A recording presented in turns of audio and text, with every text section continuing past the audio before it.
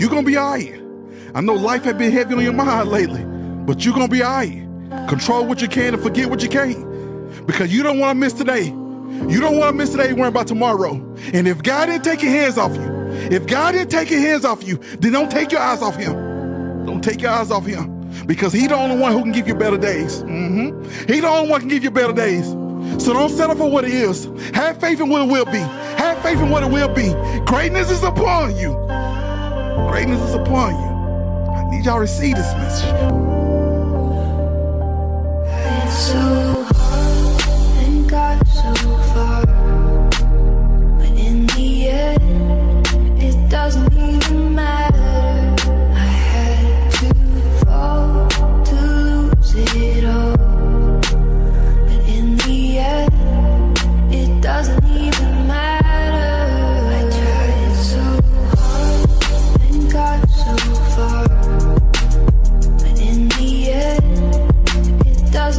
my